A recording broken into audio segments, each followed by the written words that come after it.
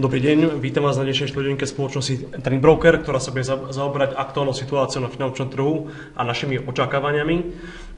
Takisto vám prajem príjemného Mikuláša a ešte predtým, ako začneme hovoriť e, o tom, čo sa deje na trhu, e, si zopakujeme upozornenie, že informácie a odporúčania to uvedenia sa nepovažujú za vhodné pre konkrétnu osobu. Spoločnosť nie je zodpovedná za prípadné chyby a nepresnosti v tomto videu aj za žiadnu stratu, stratu z pochádzajúcu z tu uvedených informácií. Na záver, s obchodovaním na finančnom trhu súvisia možné rizika strát a pokiaľ ste si vedomi týchto rizík, naštívte stránku Trim Broker a konkrétne sekciu upozornenia a rizika. Prejdeme teda k tomu, čo sa dialo teraz aktuálne v noci po zatvorení trhov, prakticky o pol 11. agentúra S&P informovala o tom, že znižuje 15 zo 17 krajín eurozóny výhľad na negatívny, pričom uviedla, že sa bude jednať pravdepodobne o zníženie o 1 stupeň pri veľkej väčšine a práve v prípade Francúzska hrozí zníženie ratingu o 2 stupne. Ako to treba, treba, ako to treba teda teraz vnímať? Samozrejme, Merkelová so Sarkozym prišli s určitou centralizáciou prav, fiskálnych pravidiel, avšak e, to vôbec nerieši súčasnú situáciu v eurozóne. E, tie pravidlá jednoducho sa menia a tak či tak už väčšina vlád prijala v rámci eurozóny dlhovú brzdu, alebo respektíve na nej pracuje a do roku 2015-16 druhá väčšina krajín v rámci eurozóny chce mať vyrovnaný rozpočet. Čiže dáto do Lisabonskej zmluvy je síce jednoducho nejaká, e, je, bude to vo medzinárodnej zmluve, e, ktorú, v ktorej budú jednoducho všetci členovia eurozóny, ale e, nemyslím si, že by eurozóna teraz mohla v, v súčasnej situácii fungovať tak, ako funguje do roku 2015, 17 alebo 18. A samozrejme musí dojsť k oveľa e, dôležitejším reformám v rámci eurozóny.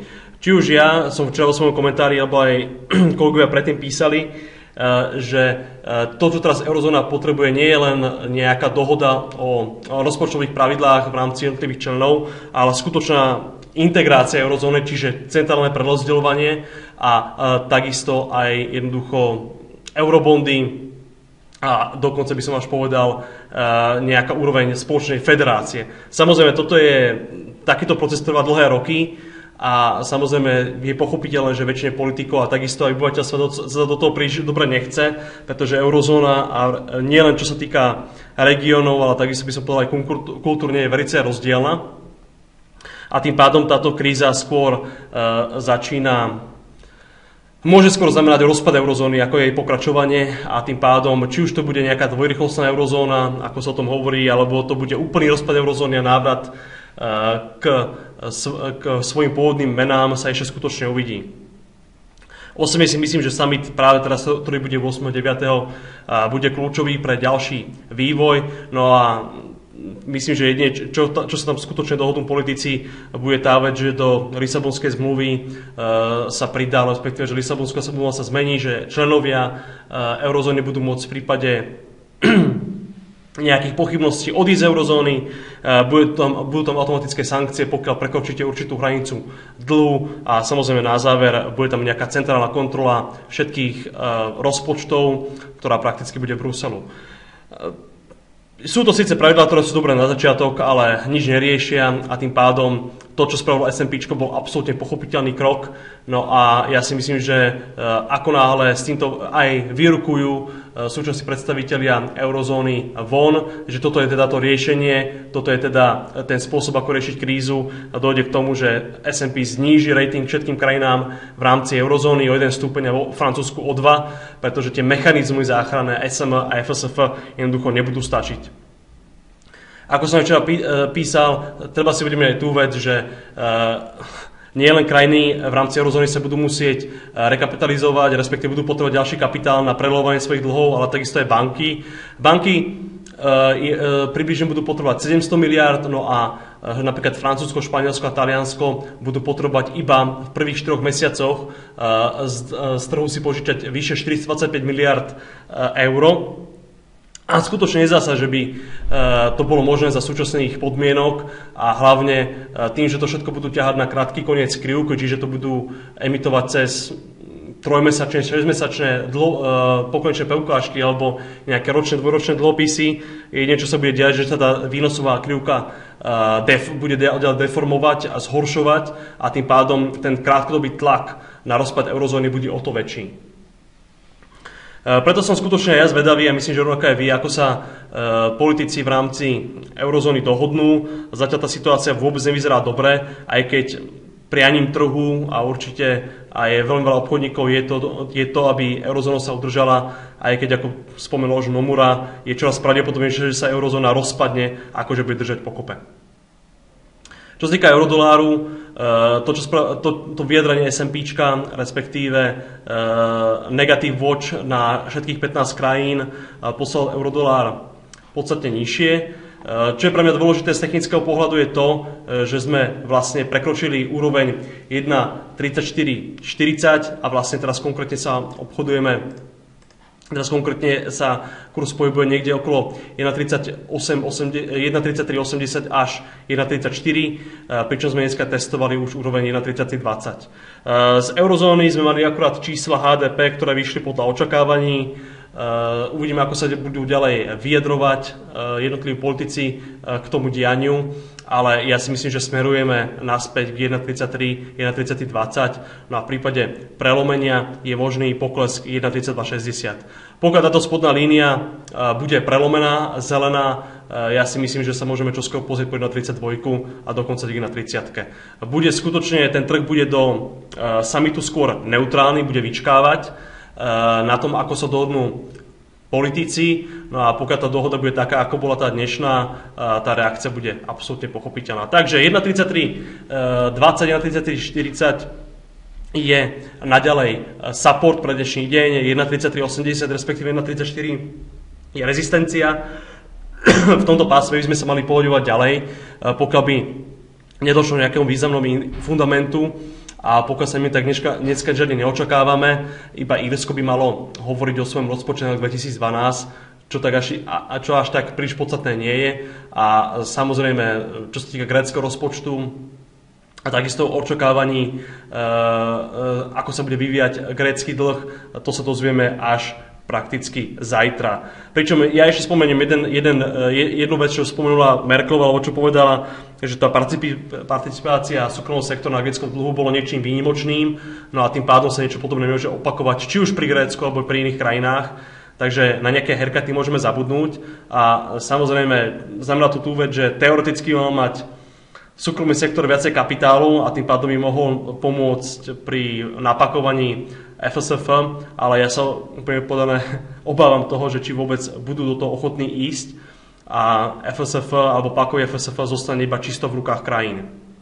Konec koncov to hovorí aj dopyt, eh, ktorý bol pro dlhopisoch eh, Eurovalu eh, a aj ten fakt, že vlastne vôbec o tieto dlhopisy žiadny záujem nie je zo strany investorov. Takže som skutočne zvedavý, s čím prídu, či to bude teda čisto iba austerity a tým pádom škrtanie a deflácia a recesia najbližšie roky, ako hovoril aj uh, Weidman a povedal to včera aj iní predstaviteľe ECBčky, eurozónu v tom prípade čaká stratená dekáda. Čo sa týka uh, britskej Libry, uh, tá bude na tom o niečo lepšie ako eurodolár, samozrejme, ak by došlo k masívnym výpadom na eurodolári, dotklo by sa to aj Veľkej Británie. Ja som aj nedávno zverejňoval analýzu, že aký je vlastne celkový dlh, respektíve aj s finančnými aktívami pri bankách uh, Veľkej Británie. Je to 1000% HDP a Veľká Británia, čo sa týka celkového dlhu plus aktív bank, je najviac zadlžená krajina na svete. Totiž, ak by došlo k naozaj k kolapsu eurozóny, ak veľký problém eurozóny, v momente by sa to odrazilo takisto na britské Libre, pretože tá má obrovský, obrovskú expozíciu britské banky voči Európe a tým pádom určite by som nevnímal Libru ako uh, nejaké bezpečné aktívum alebo, alebo, britské, alebo britské guilty, pretože na tých sa to odrazí skôr či neskôr. Libra, podobne ako eurodolár, ja si myslím, že dneska v prípade nejakých pozitívnych fundamentov by sme sa mohli pozrieť dokonca k 1,57, respektíve pásmu 1,56, 81, 57, naopak rezistencia 1,55, 80. Vývoj podobne, podobne ako na uh, eurodolári, čiže očakávam ďalší pokles. Čo sa týka kanadského dolára, Dneska očakávam rozhodnutie BOC o úrokovej miere. Tam by mala byť sadba, sadba ponechaná a tým pádom by malo aj dojsť dokonca k tomu, že ten výhľad Kanadskej centrálnej banky by mohol byť mierne holubičí aj keď na druhú stranu Karny povedal, že na budúci rok očakáva zvýšenie sadzby, ako že by e, BOC mohla byť jediná vlastne prakticky e, zo všetkých e, centrálnych bank v rámci G10, ktorá by mohla zvýšiť úrokovú mieru. Uvidíme, čo sa tak skutočne stane. Rozhodne inflácia a HDP jednoznačne naznačujú tú vec, že by nemalo dojsť zvýšenie úrokovej miery a skôr by ten komentár mohol byť neutrálny, respektíve veľmi mierne holubičí. V prípade, že by tomu tak naozaj došlo, eh, že by ten komentár bol skôr neutrálny ako holubičí, eh, mohli by sme preraziť, eh, preraziť úroveň 1.016 a vlastne potom následujúca, následujúci support je práve na úrovni 1.015. Celkovo kanadský dolár by teraz mohol mierne získavať, respektíve byť na tom lepšie ako ostatné komoditné meny. No a ja si myslím, že v prípade, by sa mu podarilo jednoducho naďalej pokračovať e, v súčasnom trende, mohli by sme sa dostať na 0,12. E, na 30 minútovom grafe sa tam vytvoril head and shoulders, čiže hlava ramena, no a bolo tam dosť veľká pravdepodobnosť, je tam dosť veľká pravdepodobnosť, že v prípade, že by sa tá situácia na trhu otočila, čiže došlo k prazeniu 1,020, veľmi rýchlo by sme sa mohli dostať na 0,26, respektíve 1,030. Ten head and shoulder som dal v, v rámci nášho spravodajstva, nájdete na grafe. Čo sa týka austrálskeho dolára, mali sme dneska, dneska sa znížila úroková miera v Austrálii zo 4,50 na 4,25. Komentár k tomu vlastne Bank of Australia bol skôr skôr holubičí, respektíve e, to, dôvod toho zníženia samozrejme sú problémy v Európe, ale takisto aj spomalenie v Ázii, dobe ako sa vyvíja aj čínske PMI a takisto aj HDP v jednotlivých krajinách, a, azijských krajinách. A tým pádom by sme sa mohli vidieť jednoducho ďalšie osobovanie australského dolára. E, dnešným, e, dnešnou rezistenciou je, aby som to presne ukázal, je práve úroveň 1.024, Eh, pričom neočakávam, že sa tak skutočne vysoko dostaneme. Tá 1.020 eh, bola eh, skutočne kľúčovou, pretože tým nám naznačuje, že máme teoretický potenciál dostať 1.024 a ak by aj tá bola prelomená, tak sa môžeme dostať až do pásma 1.030 až 43. Ja, si, ja mi myslím, že komunitné meny nebudú teraz získavať. Ten krátkodobý entuziasmus po tom, aké boli včerajšie vyjadrenia, ako sa dneska snažia politici hasiť požiar po tom, čo spravilo SMP, eh, skôr poukazujú na to, že ten trend bude naozaj sredodobo negatívny a tým pádom eh, čo skoro očakávam test 1.015 a vlastne návrat k pásmu parity až 1.0050. Index S&P, eh, mali sme v priebehu včerajšieho dňa sme testovali, respektíve dokonca sme prerobili 200-dňový e, klzový priemer, ale čo je pro mňa najviac podstatné, nepodarilo sa nám zatvoriť nad ním. Jednoducho, tá, ten 200-dňový klzový priemer, ktorý je vlastne prakticky určitým benchmarkom medzi, alebo uh, uh, ako by som povedal, dlhodobého trendu, naozaj benchmark pre dlhodobý trend a ako sa hovorí v poučkách, keď sme nad 200 klzovým priemerom, môžeme hovoriť o nejakom byčom trhu, samozrejme dôležité je to, ako sme ďaleko od tých predchádzajúcich maxim. Naopak, keď sme pod ním, tak to skôr je ten výhľad negatívny. E, napriek tomu, že tie správy boli pozitívne, napriek tomu, že e, teda makroekonomické, napriek tomu, že posledný sa ten fundament mierne zlepšil, nezatvorili sme nad ním a práve to vyhlásenie S&P ho poslali ešte nižšie.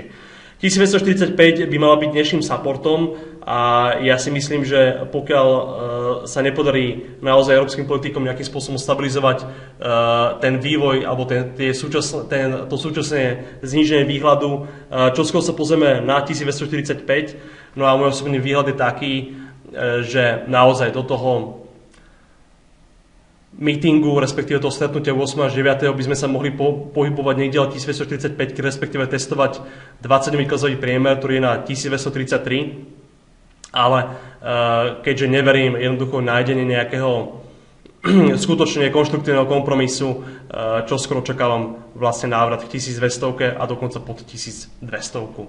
A to je skutočne na najvyššie dni.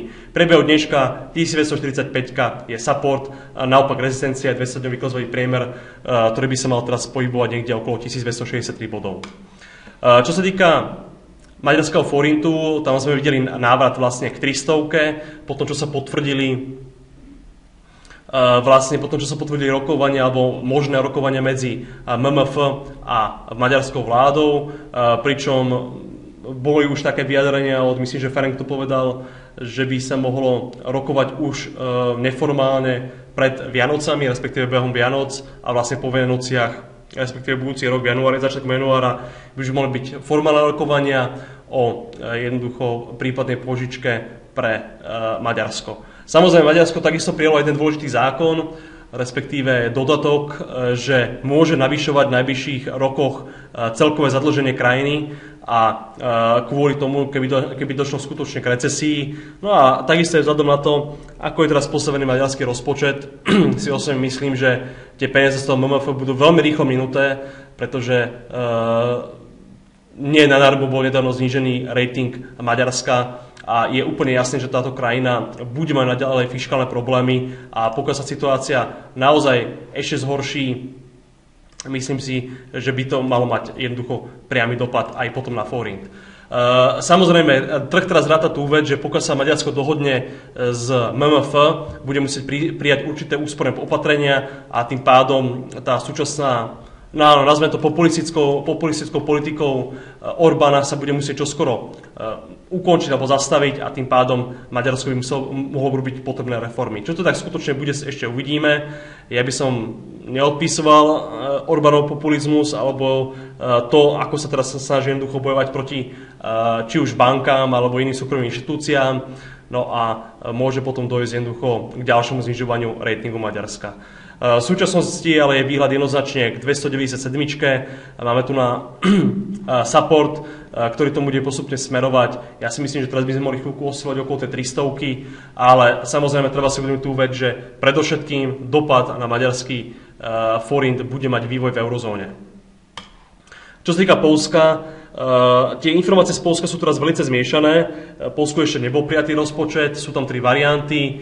Jedna rátala, myslím, že 4% rastom, druhá s 2,5 a tretia s 1% e, e, kontrakciou, pričom naozaj najviac e, najbližšie sa k tomu bude približovať pravdepodobne tá 2,5, ten 2,5% rast, pričom v rámci tohto rozpočtu už bolo naznačené, že by sa pravdepodobne zvýšili niektoré dane a takisto budeli musieť aj meniť výdavky Polska.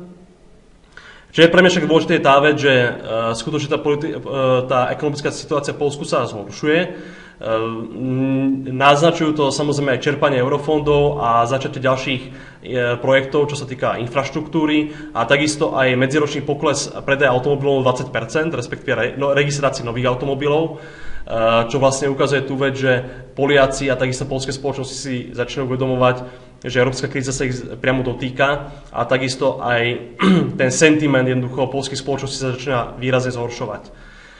Čo je však podstatné je tá vec, že pravdepodobne Tusk skutočne príjme také rozpočtové opatrenia, aby upokojil trhy, aby upokojil NVP a ja si naozaj myslím, že e, ten cieľ, ktorý si teraz dala NVP do konca roka, e, čiže niekde sa pohybať okolo tej 40, 36, myslím, že to bola 440 je naozaj reálny, avšak čo je dôležité, je to, tá vec, že ako sa bude vyvíjať eh, to stretnutie 8. 9. pokiaľ to naozaj eh, pokiaľ tam budú ďalšie komplikácie, čo je veľmi pravdepodobné, tak jednoducho polský zlotý nebude určite ušetrený rovnako ako aj ostatné stredoeurópske krajiny.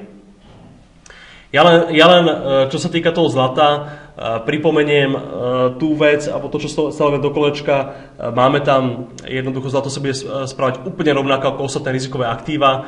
Teraz tie trendy, respektíve tá vážnosť situácia je natoľko veľká, alebo natoľko môže mať dopad prakticky na, na všetky trhy, že pokiaľ by eurozóna sa nedokázala dohodnúť, alebo pokiaľ by sa neukázal, že je možný nejaký skutočný kon, konsenzus a posun, obávam sa, že aj zlato bude e, strácať. E, na záver ešte pripomeniem jednu dôležitú vec, v čom, čom, e, čo je môj osobný názor, je tá vec, že eurozóna a určite ani Nemecko nebude chcieť na najvyššom samite, ani nedovolí na najvyššom samite, aby nejakým spôsobom participovala ECBčka na riešenie súčasného problému, aj keď samozrejme jej participácia by bola skôr krátkodobým riešením a určite by dokázala tým trom pomôcť. Videli by sme či už, rast, e, či už aj rast zlata, striebra, takisto stredovských mien a e, akciových trhov, ale vyzerá to skutočne tak, že ECB ostane mimo hru minimálne až dovtedy, dokým nebude neskoro. Preto sa treba teraz skutočne zaradiť na to e, takým spôsobom, že máme tu na risk of sentiment, e, ktorý sa zdá, že bude strednodobý a môže dokonca trvať až do prvého kvartálu 2012, keď už bude jasné teda, či eurozóna bude v recesii, respektíve aj so Spojenými štátmi americkými, alebo nebude. No a keby, keby nebola, keby sa jednoducho ten, tá reálna ekonomika bola ušetrená od toho poklesu, e, či už dôryhodnosti eura, alebo takisto tej deorientácii v rámci eurozóny. E, zameralo by to jednoducho tú vec, že skutočne nejak, nejakým spôsobom sa to dá riešiť aj v dlhodobejšom horizonte. Rád však ostávam skutočne pesimista a zatiaľ tie moje predpoklady, ktoré som mal, sa e, plnia. Preto by som aj to zakončil tým spôsobom, že do samitu pravdepodobne to obchodovanie bude volatilnejšie, ale v určitom pásme. No a po samite sa opäť predpokladám stretneme a dúfam, že budeme mať dobré správy. Takže čo sa týka EuroHF, mali sme tam dneska pokiaľ sa nemilím, z infláciu, tá dopadla lepšie ako sa očakávalo, takže jednoducho švajčiarsky frank by krátkodobo mohol posíliť. Takže ďakujem vám za pozornosť, za pozornosť a prajem príjemný deň. Dovidenia.